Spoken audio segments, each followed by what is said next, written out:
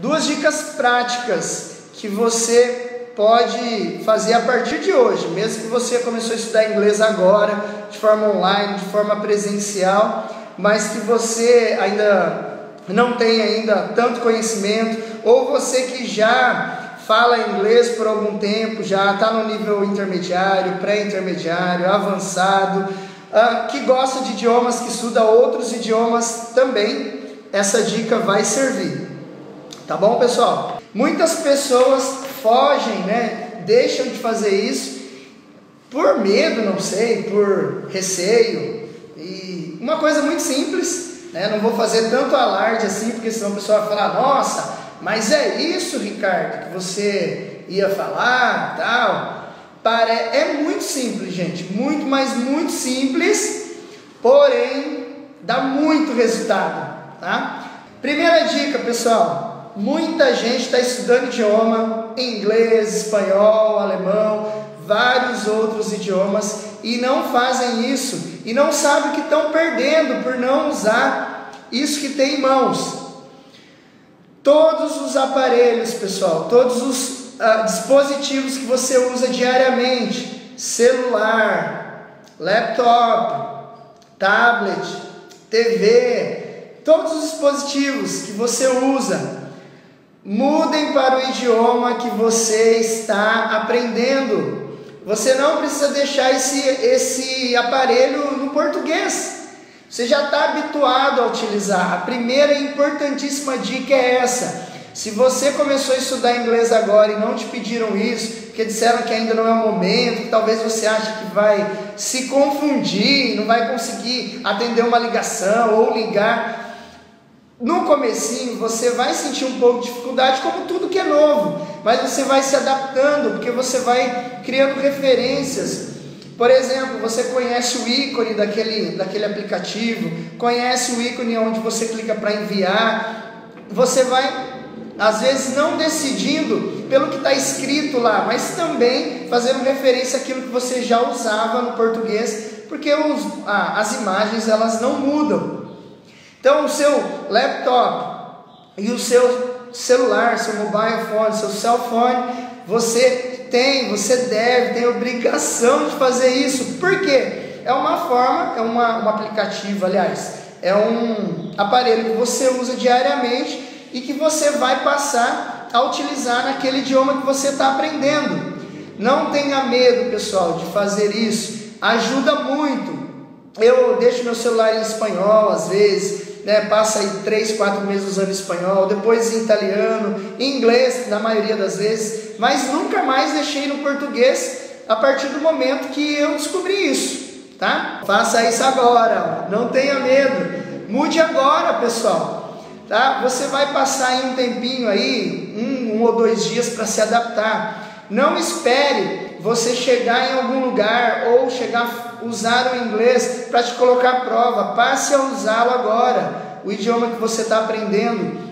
O pessoal fala: ah, quando eu fizer um intercâmbio, eu vou usar o meu inglês melhor. Quando eu fizer isso, quando eu fizer aquilo, passe a utilizar no seu dia a dia a partir de agora. Essa é a dica. Está muito simples, porém muita gente que já está aí talvez nível pré-intermediário, intermediário, até no avançado e não fez isso. Tem a oportunidade de praticar o inglês. E eu digo mais, né? Se você já utiliza naturalmente esses aparelhos, você não vai ficar precisando, ah, eu preciso estudar inglês, eu preciso estudar inglês, eu não estudei inglês essa semana. Estudar inglês, pessoal, é, estudar inglês é não é uma pressão, é você trazer para o seu dia a dia com naturalidade. Não tem pressão, você não tem que fazer, você não deve fazer, trazer como uma pressão. Você tem que trazer para o seu dia a dia. E essa dica faz você trazer o inglês ou o idioma que você está aprendendo naturalmente para o seu dia a dia. E a nossa segunda dica, importantíssima, fala para os alunos aqui de nível intermediário e avançado você ainda não tem uma referência nativa do inglês, ou do espanhol, ou do italiano, enfim, de qualquer idioma que você esteja estudando no momento, você precisa ter uma referência, tá? O que, que é isso, Ricardo? Uma referência. Você precisa ter alguém de referência, uma pessoa nativa, que você goste, que faça sentido para você. Vamos dar um exemplo. Eu tenho duas referências no inglês, que eu acompanho naturalmente vídeos dessa pessoa, que eu vejo entrevistas dessa pessoa, que eu vejo se ele é um cantor, eu ouço músicas dessa pessoa e ele é nativo do inglês. Não importa se ele é britânico, se ele é americano, não importa. Mas ele tem o inglês como idioma nativo.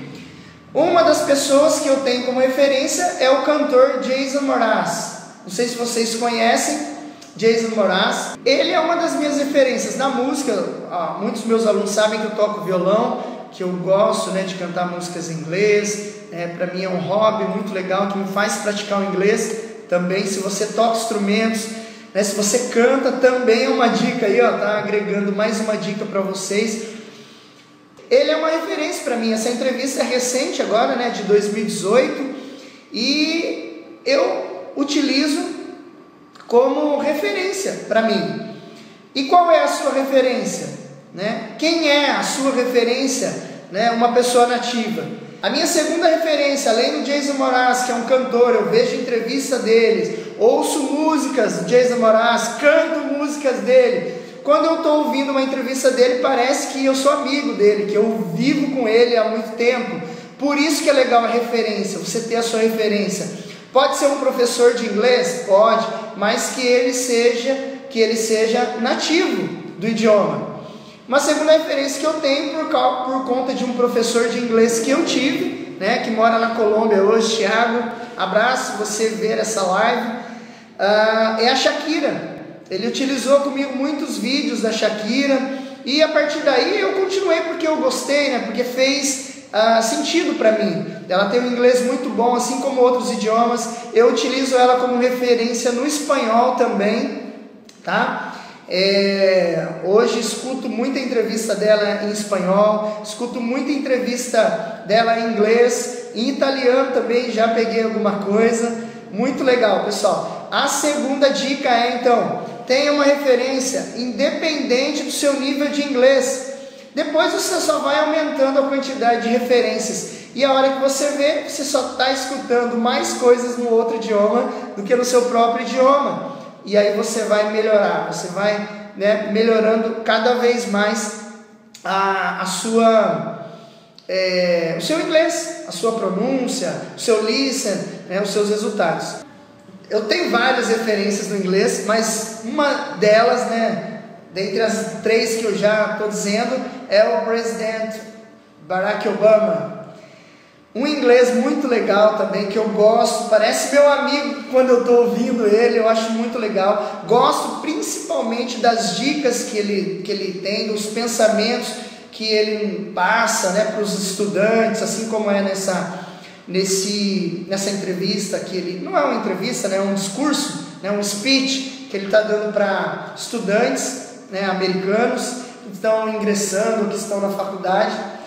Muito bom, né? Então ele é uma das minhas referências, principais referências. Então eu disse aqui três minhas: Barack Obama, Shakira, é, que também tem trabalhos sociais muito legais, uma excelente pessoa, falante de vários idiomas, e Jason Moraz, que também fala espanhol muito bem, né? É, já vi várias entrevistas dele em espanhol também, continuo vendo até hoje. Inglês é onde eu, né, é, foi o meu segundo idioma, né, é, e é onde eu acompanho tudo, é uma língua universal e que vocês podem aí com certeza né, entender muitas pessoas né, do mundo, mas do mundo todo mesmo, tá? Essa é a ideia. Não deixe de colocar em prática essas duas, essas duas tips, essas duas dicas. E para quem não conhece ainda English U, acesse o site www.englishu.com.br. Tem várias informações, tem o nosso blog lá com várias dicas de inglês. Você consegue acessar também o nosso canal do YouTube diretamente por lá, nossa página do Facebook. Pessoal, vou colocar aqui também ó, um link. Ah, foi liberada na, na sexta-feira passada, agora feriado, eu liberei a aula 1 do nosso curso online gratuito. É um curso online do zero, sabe? Para quem não sabe nada mesmo ali, pode fazer essas aulas. Eu estou colocando o link aqui agora, né? EnglishU barra cadastro né, do nosso site. Você pode compartilhar com seus amigos, cadastrar lá e acompanhar. Primeira aula está liberada, só você se cadastrar, né? Primeira aula liberada e você pode acompanhar lá gratuitamente com o meu acompanhamento, né? Diário aí pelo WhatsApp.